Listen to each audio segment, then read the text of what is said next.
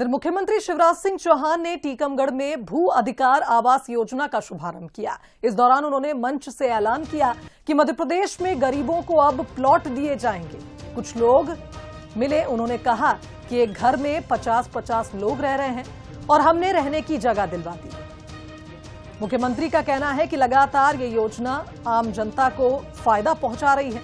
किसी को बिना घर के वे रहने नहीं देंगे और सभी को सरकारी ज़मीन पर घर दिया जाएगा।